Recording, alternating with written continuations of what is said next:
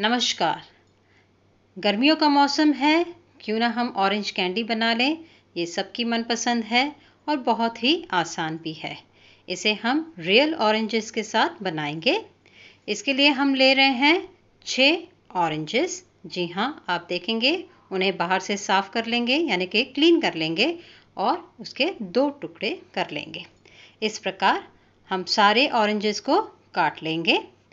काटने के बाद हम इनका जूस जो है उसे स्क्वीज़ कर लेंगे। इस तरह का ये बहुत ही कॉमन इक्विपमेंट है। आप देख सकते हैं, बड़ी ही आसानी से इसे गोल घुमा के इसका जूस निकाला जा सकता है। यानी कि पूरा गुद्दा आप देखेंगे, जो पल्प है, वो सारा का सारा ही निकल आता है।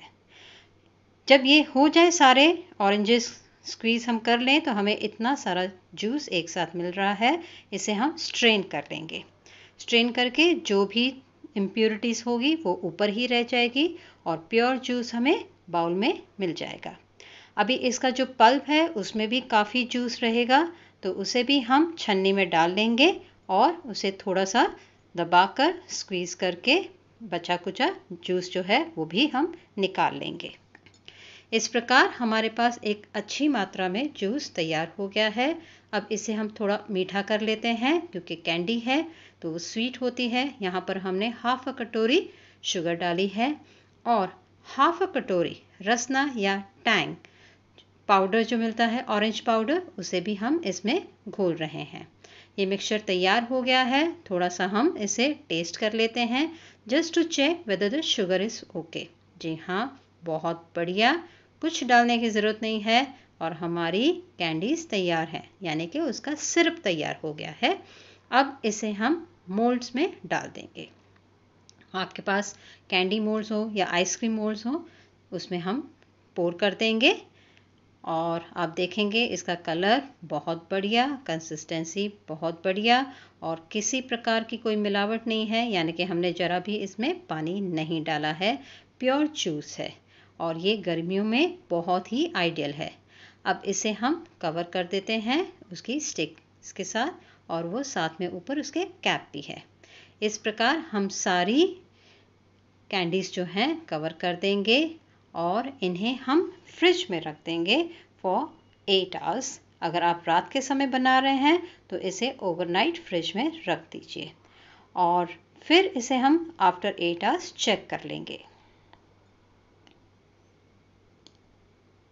लीजिए, हमने इसे फ्रिज से निकाल लिया है।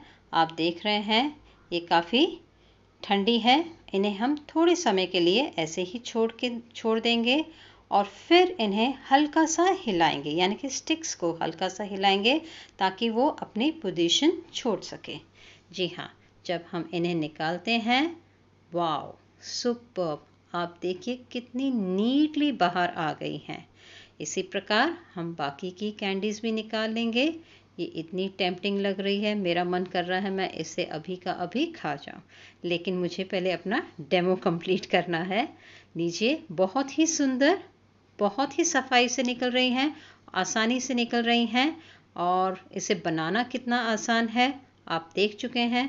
हमने कोई ज़्यादा मेहनत नहीं की है।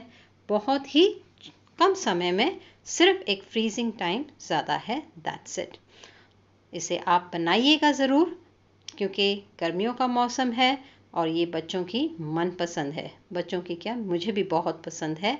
उम्मीद है आप इसे लाइक करेंगे और साथ ही साथ चैनल को सब्सक्राइब करेंगे। Thank you